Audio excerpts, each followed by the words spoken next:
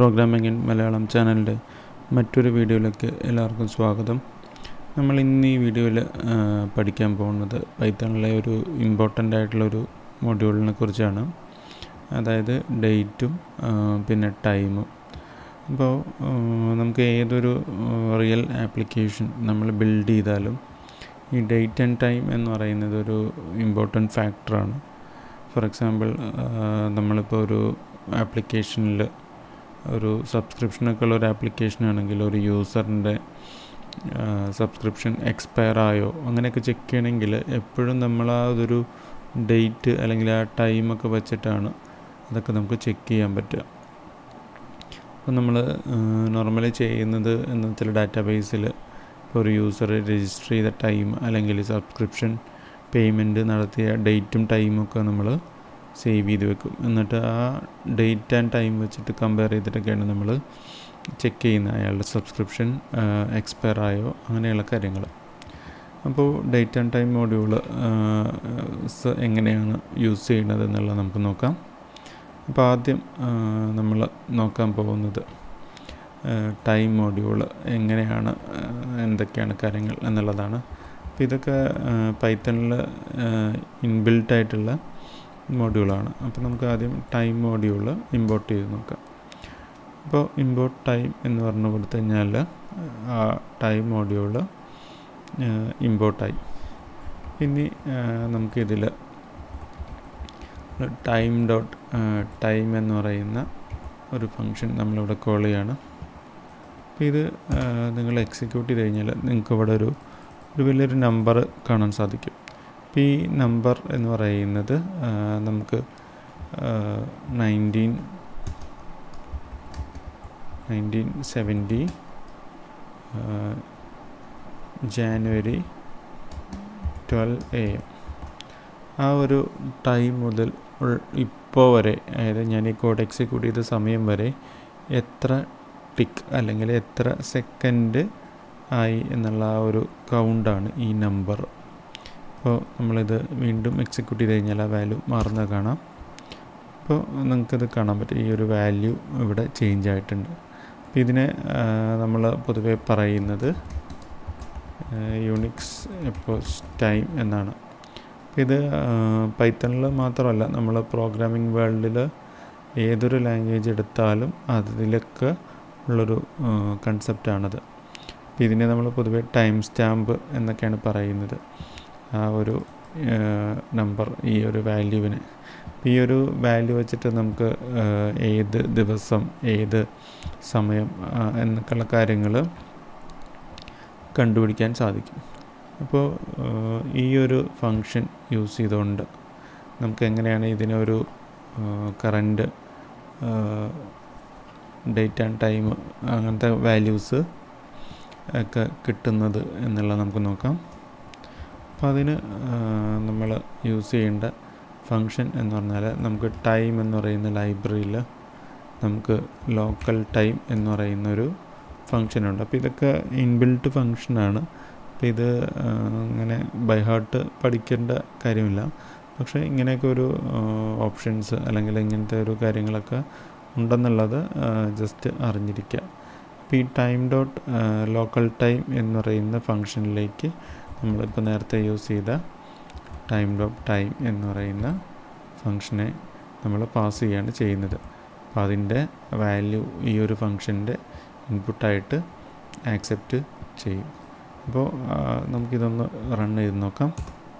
അപ്പോൾ ഇത് എക്സിക്യൂട്ട് ചെയ്തപ്പോൾ നമുക്കിപ്പോൾ ഒരു ട്യൂപ്പിൾ ആണ് കിട്ടിയത്. അപ്പോൾ നമ്മൾ നേരത്തെയൊക്കെ പഠിച്ചിട്ടുള്ളതാണ് ട്യൂപ്പിൾ നമ്മൾ റൗണ്ട് ബ്രാക്കറ്റിലാണ് ഡിനോട്ട് ചെയ്യുന്നത്. അപ്പോൾ ട്യൂപ്പിളിലുള്ള ഓരോ എലമെന്റും റെപ്രസെന്റ് ചെയ്യുന്നത് നമ്മുടെ ഡേറ്റ് ടൈമിലെ ഓരോ വാല്യൂസാണ് ഫസ്റ്റ് വന്നേക്കുന്നത് ഇയറാണ് അതായത് ടു തൗസൻഡ് ട്വന്റി പിന്നെ ഇവിടെ മന്ത് വന്നിരിക്കുന്നത് ഫൈവ് ആണ്. പിന്നെ ഡേ എയ്റ്റീൻ വന്നിട്ടുണ്ട്. ഹവർ മിനിറ്റ് അങ്ങനെ day of the week year of the week അങ്ങനത്തെ വാല്യൂസാണ് നമുക്ക് കിട്ടിയിരിക്കുന്നത്. പിന്നെ ഇതിൽ നിന്ന് നമുക്ക് ഒരു ടൈം അതായത് ഫോർമാറ്റ് ചെയ്ത് ടൈം പ്രിന്റ് ചെയ്യാനുള്ള ഫങ്ഷൻ അവൈലബിൾ ആണ്. അപ്പോൾ അതിന് നമ്മൾ യൂസ് ചെയ്യുന്ന ഫങ്ഷൻ ഇതാണ്. ഇത് നമ്മൾ ഓരോ ഫങ്ഷനെ അതായത് ഇതിനകത്തുള്ള ഓരോ വാല്യൂസിനെ ഓരോരോ ഫങ്ഷനിലേക്ക് പാസ് ചെയ്യാണ് ചെയ്യുന്നത്. ഫോർ എക്സാമ്പിൾ ഫസ്റ്റ് ഈ ടൈം ഡോട്ട് ടൈം എന്ന് പറയുന്ന ഫങ്ഷൻ വിളിക്കുമ്പോൾ നമുക്ക് ഇങ്ങനെ ഒരു നമ്പറാണ് കിട്ടുന്നത്. ആ നമ്പറിനെ നമ്മൾ ലോക്കൽ ടൈമിലേക്ക് കൺവേർട്ട് ചെയ്യുമ്പോൾ നമുക്ക് ഇങ്ങനെ ഒരു ട്യൂപ്പിൾ കിട്ടുന്നു. ആ ട്യൂപ്പിളിനെയാണ് പിന്നെ നമ്മൾ ടൈം ഡോട്ട് ഇവിടെ എ എസ് സി ടൈം എന്ന് പറഞ്ഞ് കൊടുത്തിരിക്കുന്നത് ആസ്കി ടൈമാണ് അപ്പോൾ അതിലേക്ക് പാസ് ചെയ്യുമ്പോഴാണ് നമ്മുടെ ഫൈനൽ ഔട്ട്പുട്ട് അല്ലെങ്കിൽ ഫൈനൽ റിസൾട്ട് കിട്ടുന്നത്. അപ്പോൾ ഇത് നമുക്കൊന്ന് എക്സിക്യൂട്ട് ചെയ്ത് നോക്കാം. ഇപ്പോൾ നിങ്ങൾക്ക് ഇവിടെ കാണാൻ കഴിയും. മൺഡേ മെയ് എയ്റ്റീൻ പിന്നെ ഇവിടുത്തെ ടൈമും നമുക്ക് വന്നിട്ടുണ്ട്. അപ്പോൾ ഇത് ബൈ ഡിഫോൾട്ട് നമ്മുടെ സിസ്റ്റത്തിലുള്ള ടൈമാണ് എടുക്കുന്നത്. ഈ ഒരു ടൈമിനെ നമുക്ക് പല രീതിയിൽ ഫോർമാറ്റ് ചെയ്യാനൊക്കെ സാധിക്കും. അപ്പോൾ അതിന് നമ്മൾ ഇതിലേക്ക് പാസ് ചെയ്യുന്ന ഫങ്ഷൻസിലെ ഫോർമാറ്റിംഗ് ഓപ്ഷൻസ് മാറ്റിയാൽ മതി. പിന്നെ നമുക്ക് പ്രോഗ്രാമിങ്ങിൽ ഉള്ള മറ്റൊരു കൺസെപ്റ്റാണ് സ്ലീപ്പ് ടൈം എന്ന് പറയുന്നത്. അപ്പോൾ അത് നമുക്ക് എന്താണെന്ന് നോക്കാം. അതായത് പ്രോഗ്രാമിന്റെ എക്സിക്യൂഷൻ നമുക്കൊരു പർട്ടിക്കുലർ ടൈം വെയിറ്റ് ചെയ്യണമെങ്കിൽ അതിനു വേണ്ടി നമുക്ക് യൂസ് ചെയ്യാവുന്ന ഒന്നാണ് ഈ സ്ലീപ്പ് ടൈം എന്ന് പറയുന്നത്. അപ്പോൾ അതിന് നമുക്കിവിടെ ഒരു എക്സാമ്പിൾ നോക്കാം. നമ്മളിവിടെ ഒരു for loop zero to ten വരെ ഉള്ള ഒരു ഫോർ ലൂപ്പ് ഇവിടെ പ്രിന്റ് ചെയ്യാൻ നോക്കുകയാണ്. അപ്പോൾ ഞാനിവിടെ പ്രിന്റ് ഐ എന്ന് പറഞ്ഞ് ഇവിടെ കൊടുത്തിട്ടുണ്ട്.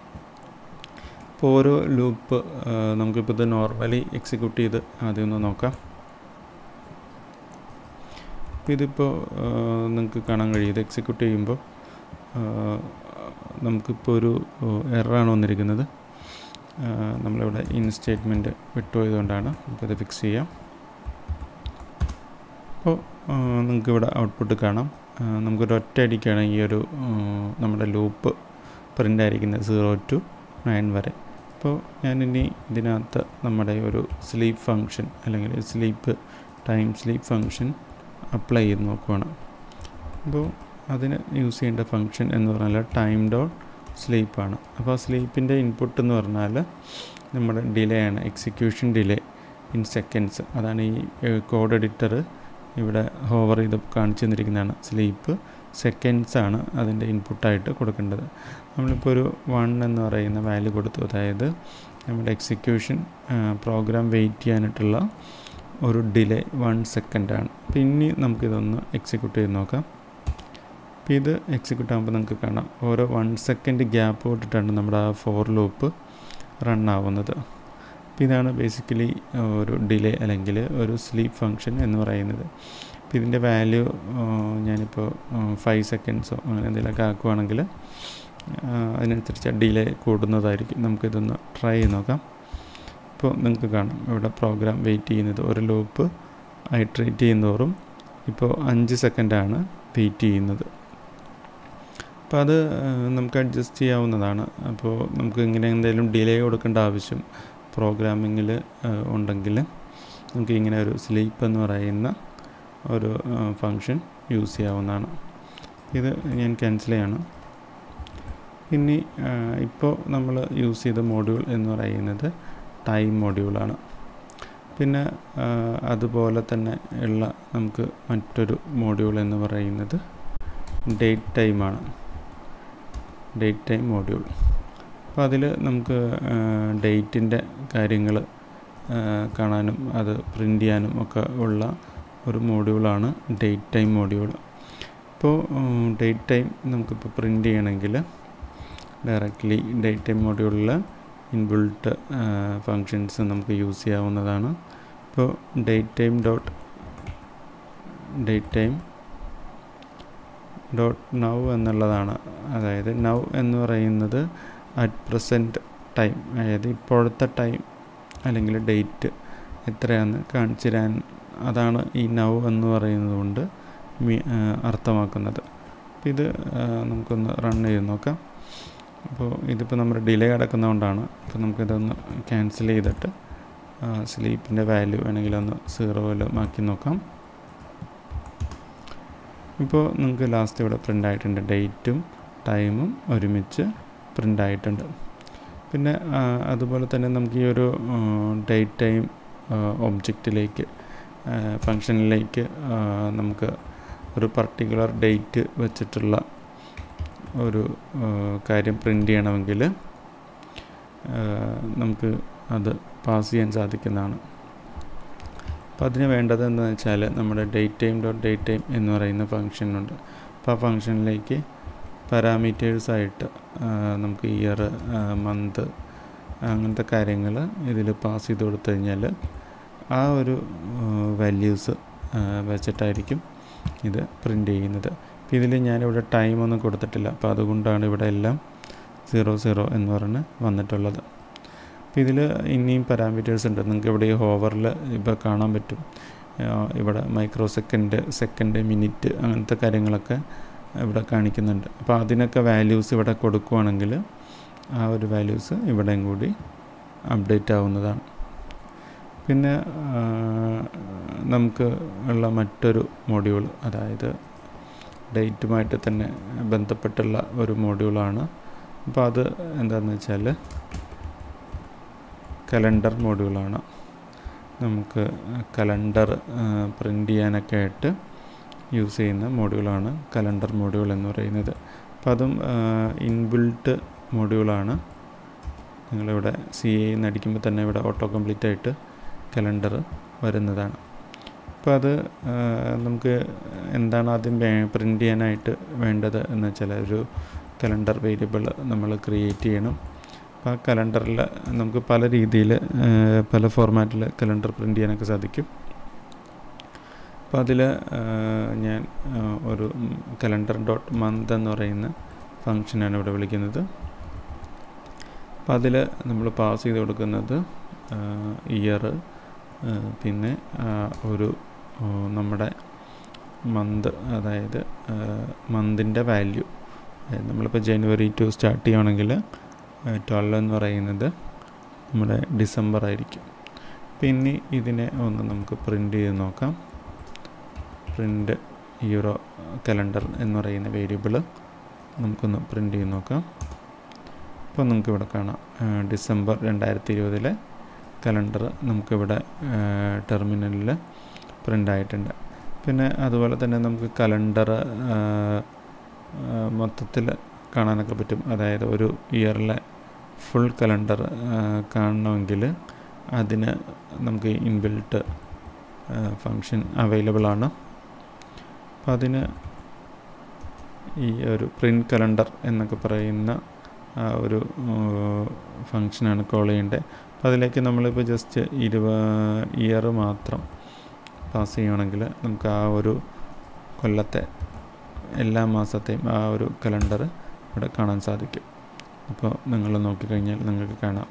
രണ്ടായിരത്തി ഇരുപത് എന്ന് പറയുന്ന കൊല്ലത്തെ ഫുൾ കലണ്ടറാണിത് അപ്പോൾ ഇങ്ങനെ വേരിയസ് ഓപ്ഷൻസ് ഡേറ്റും അല്ലെങ്കിൽ ഡേറ്റ് ടൈമിൽ യൂസ് ചെയ്തുകൊണ്ട് നമുക്ക് പൈത്തണിൽ അവൈലബിൾ ആണ്. അപ്പോൾ ഇതിൽ നമുക്ക് ഈ ഡേറ്റും ടൈമും നമ്മൾ പ്രിന്റ് ചെയ്തതിൽ നമുക്ക് ഒരുപാട് രീതിയിലുള്ള ഫോർമാറ്റിങ് അവൈലബിൾ ആണ്. അപ്പം അത് നമ്മളിതൊന്നും ഒരിക്കലും കാണാപ്പാടം പഠിക്കാനോ അങ്ങനെയൊന്നും ട്രൈ ചെയ്യരുത്.